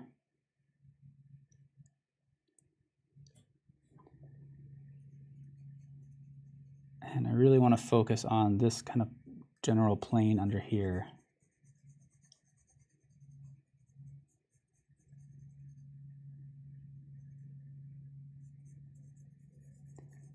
And if you take another pass with, say, the, the a harder charcoal pencil like I'm doing now, then um, just like with the white, it can be a great way to kind of blend a little bit. So.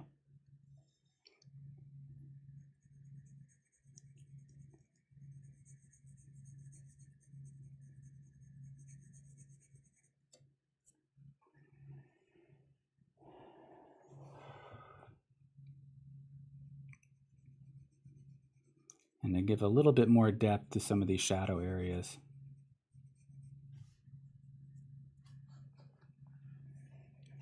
Actually, I'm going to come with my darkest charcoal right here. You can see how much darker that is. I think that's helpful. Um,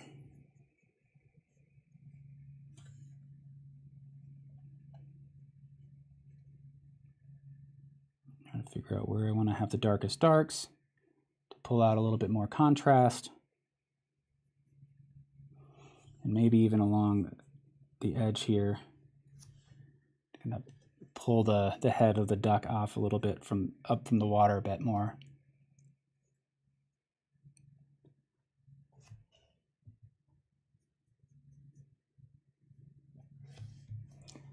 Actually, I'm going to use this to darken some of that beak.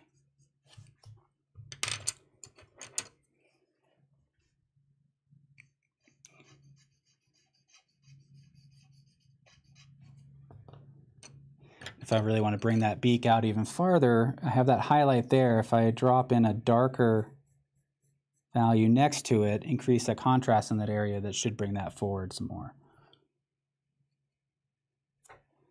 Especially right in here, I think I want to sharpen that edge with a line to, to bring more definition to that. Um,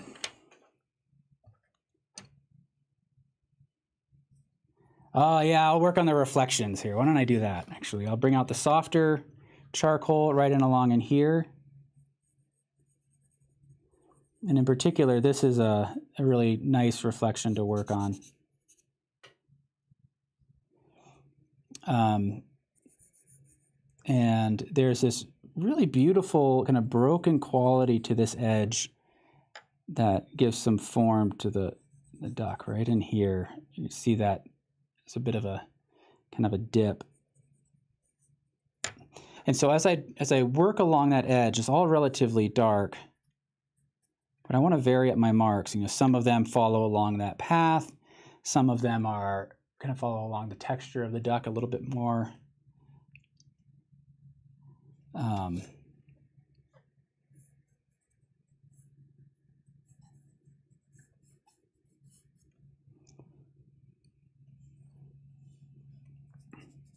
but in general, like from that edge, I'm going to really drag down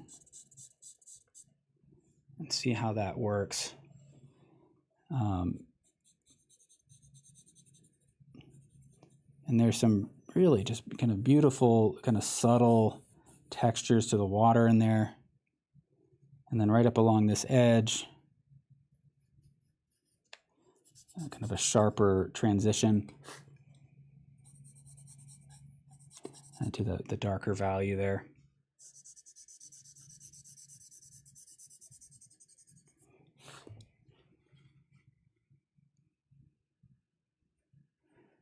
Um, now I'm gonna before I before I transition all the way across here, I want to see where that foot is that we can see through the water. And we're gonna um, indicate that. And as I look at the larger scale, um, the, the reference photo, you can see that these darker areas reveal the a reflection in the, the, the direction of the feathers, the, the grain of the feathers.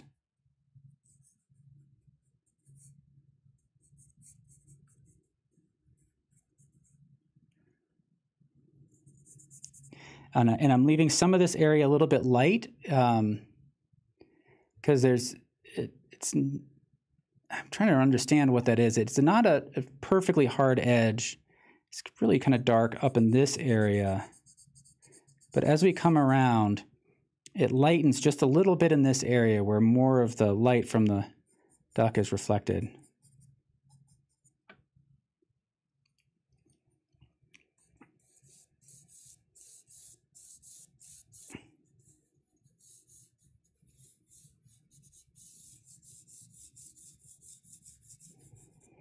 Okay. Uh, now I'm uh, using just kind of positive and negative space to reveal the foot that's under the water there. Really dark back up in this section.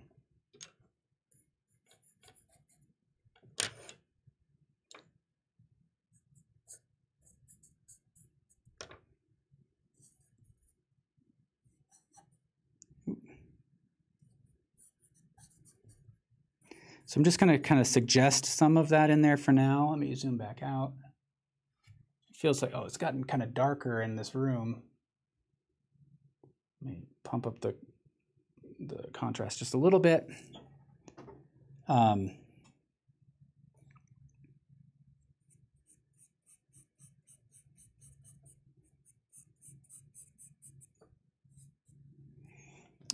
let me see, I'm going to use my eraser to give a little bit more form and substance to the foot, and then it overlaps with the reflection of the highlight in the duck.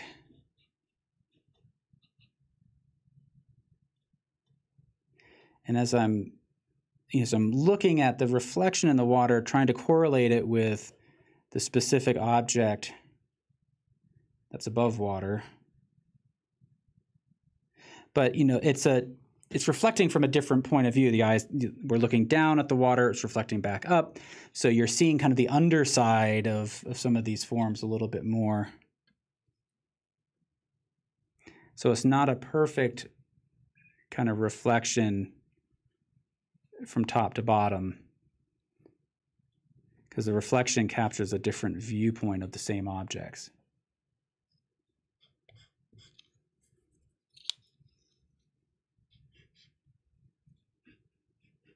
Okay.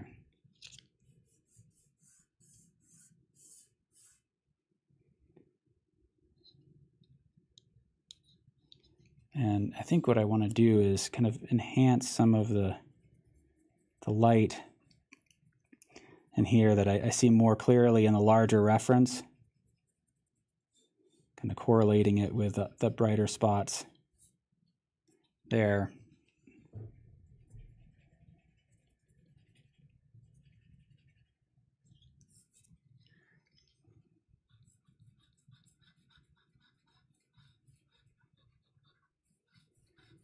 All right, so hopefully that looks okay. Got some of those reflections in there. Um, I'm gonna, we'll come back to this, but I want to, um, I want to start to refine some of these areas. So I don't want to mess this up and I really want to rest my hand on this, but I can't. So the technique I'm going to use is this kind of modified grip where I have my, you see I have my pinky, I can stabilize here. Let me see if I can tilt that down like that. You see that it's resting on the page, kind of more on my, my fingernail, and that gives me a little bit more precision as, as I look to um, really kind of refine some of these edges. And the same can be true with the eraser.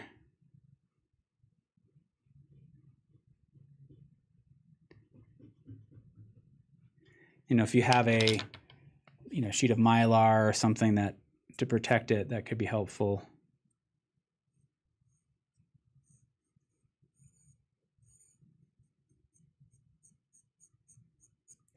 But I find that that technique generally works. Um,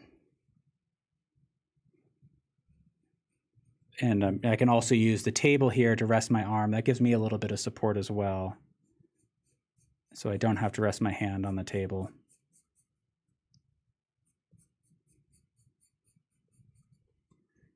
Um,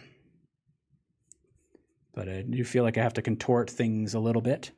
Um, I do want to refine the negative space in here a little bit more. It's a small area, but um, I think it's an important one. So actually, I'm going to smooth that all out, and I'll have to keep reworking that positive and negative space in here. But there's this kind of looks like a handle to a mug or something right in here.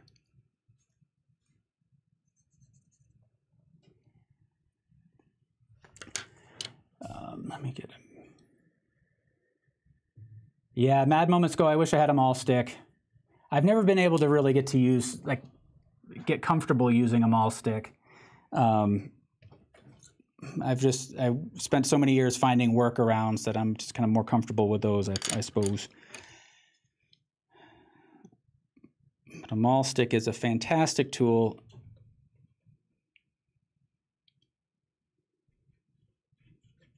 And part of me gets anxious trying to be too precise. Oh, wrong one. I want to use the hard one. There's this nice little negative space.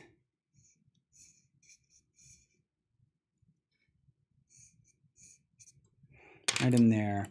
And so I use the eraser to kind of erase out the foreground uh, wing. And then we get these cool little bands of the um, the shadows there of the wings.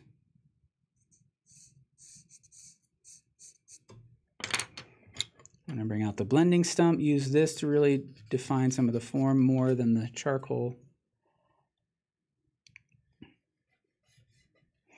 But I do think I need to bring out the, the white. Okay. Now I need to, this is where I'm going to adjust the that back wing a little bit more.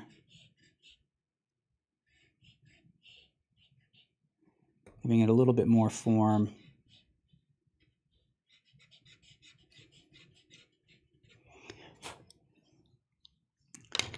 And all right, let's bring in some of this, this white charcoal.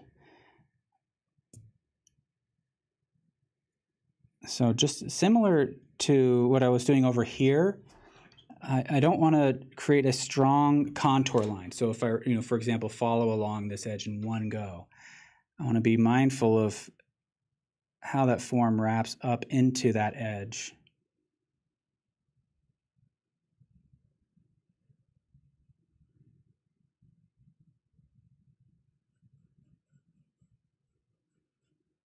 So I think that this this technique of using the side of the pencil is is helpful for doing that. I'm allowing it to just roll in my fingers as I go, and that helps to prevent kind of any um, flat spots.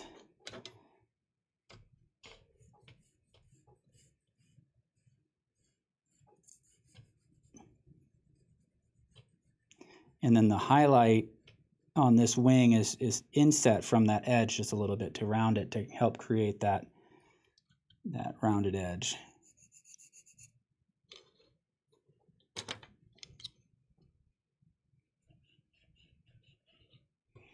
And we'll do the same over on this side here. Here the light is catching really more on this side, so I can bear down a little bit more.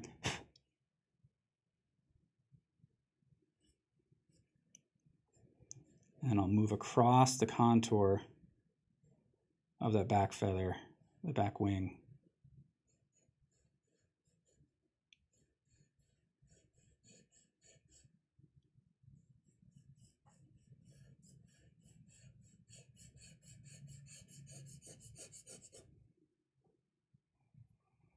I really love the way the light is catching on this back wing here. I can suggest some of the direction of the feathers.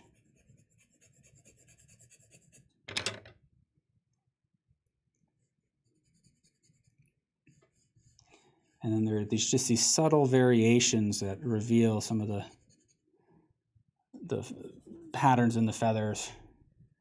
Like right in here. Um, actually, then we have this form in here. I'm going to start with the light kind of in that negative space along that back side.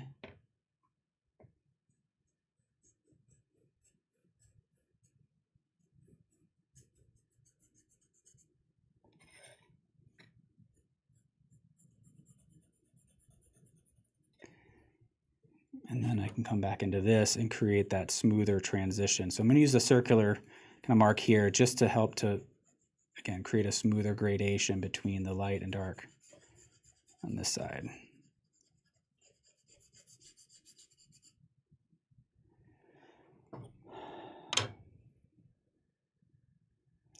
Uh, Rhiannon is asking if I'll use a fixative, and I will not use a fixative. Um,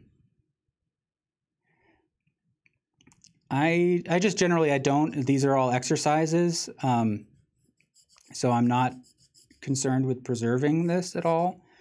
Um, but if I if I did want to preserve it, I would I would probably actually want to keep it in some sort of um, like a mylar bag or something, rather than spray fix it um, and keep it stored flat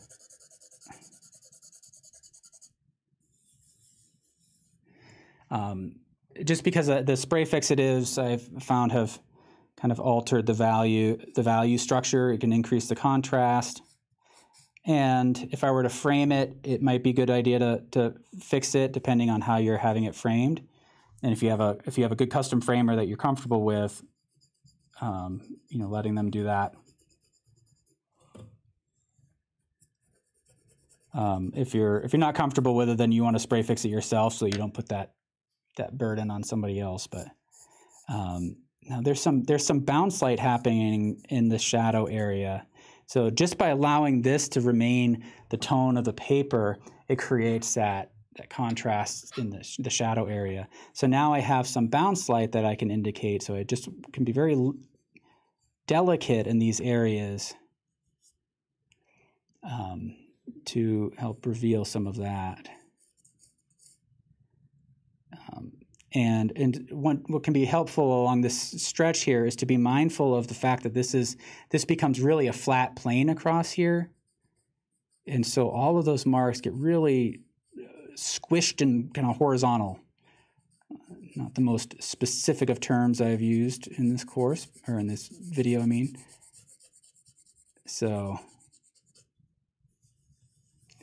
squished and horizontal is the best way I can describe it. Um, I know we, we all probably come up with kind of unique ways of describing things. Um, but right, right in here, this light here is particularly helpful in revealing the structure of this back wing, um, where it's a little bit flatter and it's catching some of the bounce light. And then we have this other wing that comes in and obscures it. Um, if we need to sharpen that up, I can. Drop a line in there.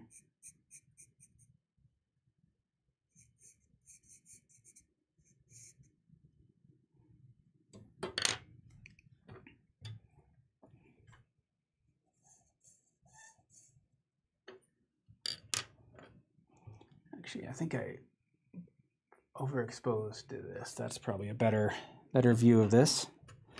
Um, now let's see, back to this. I want to just kind of soften this transition a little bit more in this area and then get back to that tail section. All right, so back in here, um, I want to rest my hand.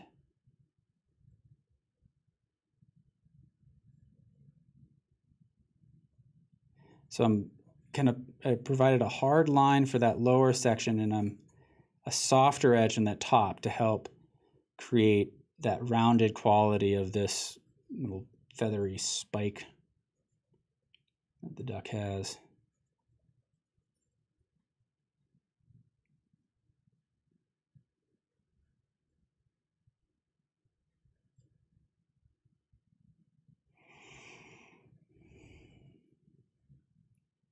And then right in here. What I, wait, try to pay attention to the the brightest brights. Where is it the strongest? So generally, it's at that that point of contact between the changing planes. So right in here, kind of right in here. Um, and it falls kind of into shadow a little bit more.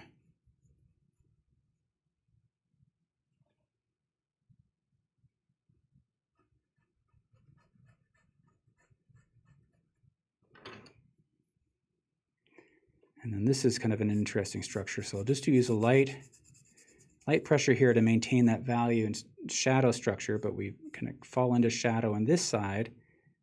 But it really catches the light. or is it strongest? Right in here.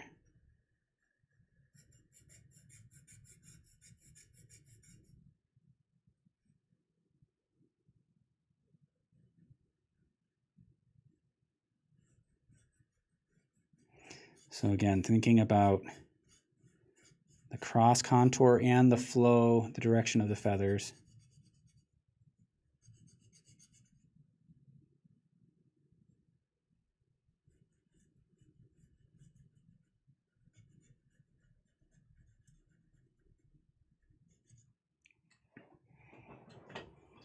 So now we're getting, getting in the territory we were talking about earlier uh, with Stephanie's comment about the the focal point being the kind of the head.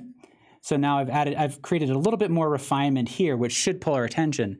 We have a stronger value contrast here, however, um, and those could compete with one another. So now I have a decision to make about that. So actually, I'm gonna use the blending stump.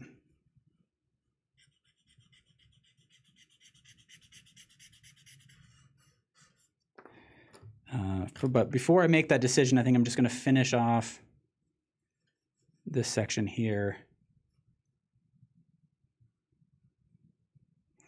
Um, uh, you know, we talked about um, turning edges a lot lately. So I think it's a good good time to evaluate your edges. So you look along at, at the edges. Do they feel like they turn into the um, you know, around the form. Uh, and if not, the, the thing to check is the variety along that edge. Um, you know, check to see if the direction of the marks really wrap around that form. Um, if there is a sufficient variety in terms of how sharp or dull the edges are, diffuse the edges are. Um, is there a change in contrast along that edge? So along in here, just following the direction of the feathers, just kind of with this rocking motion to suggest the, uh, the texture there.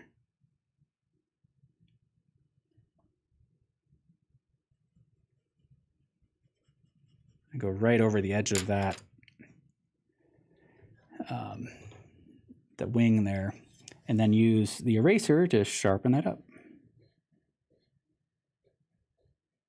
And because it's erasing down to the gray, it's actually creating a darker mark there. Um, I want harder charcoal right on this section.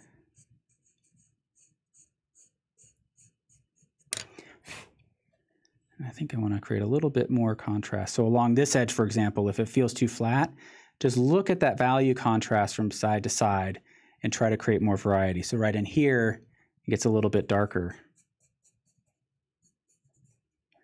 Um, and, and you can change it, you can create that variety sometimes just by changing the direction of the marks. Um, some, it's not you know, it doesn't have to be a value shift. It can just be a, a shift in texture, direction. I didn't quite get this negative space right, but I, I'm not going to fuss with it. So something I, because that negative space is in, incongruent with what I'm seeing in the reference photo, something is definitely off, but I don't think it's off sufficiently to, to really be a concern.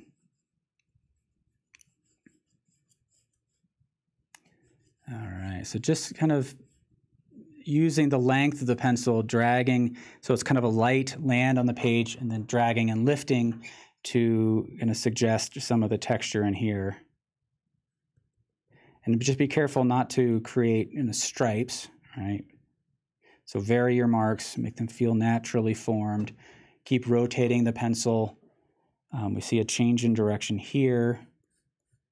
So there's almost like this swirling motion in the feathers as you get up close to it. And again, you're, you're kind of in control of the, the threshold for, for refinement and detail. So if, if that's a level of detail that you're just not concerned with, that's totally fine. But if you want to you want to suggest more detail, then I think that really focusing on the direction of the feathers is really a key thing. Um, and I think in order, right now this just feels unfinished, not like a shadow. So if I can get a little bit more texture in here to make it feel more finished, I think it'll be helpful.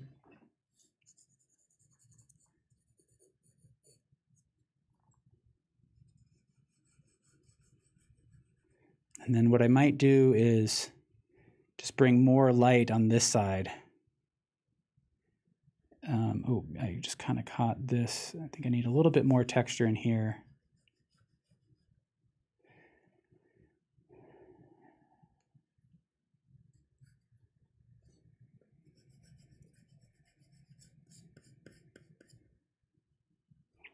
Sorry, just kind of focusing a little bit more, so less less talking than I would normally do. It's easier to talk in the early stages of this drawing. A little bit harder when uh, we're about ready to finish this up. Um, now, I didn't go back and finish the um, the water area, but I don't know. I do need to get going, um, and I'm not sure adding much to the water is going to be helpful. But if you want to get back in there, um, it can be helpful to um, kind of refine some of these the shadow areas. You know, so right in here. Just be careful again about that edge variation. You know, my focus on this has been primarily on again that turning edge to create a sense of form and volume. So, um, what I would be looking for in creating more clarity in the water is to for it to support the structure of the duck, not just for the sake of doing it. Um, I think I might actually add a little bit of white in here to suggest some of the reflection. And actually, I think I want to see what happens if I do this. Bring in some of the white in here to, really kind of, I don't know, enhance the reflection into here.